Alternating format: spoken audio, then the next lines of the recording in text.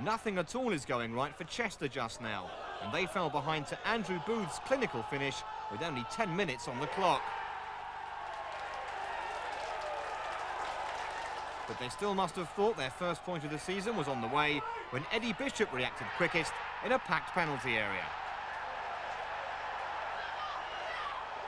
But disaster was just around the corner. Some dire defending let in Ian Dunn for a late winner. And for Chester, things can only improve from here.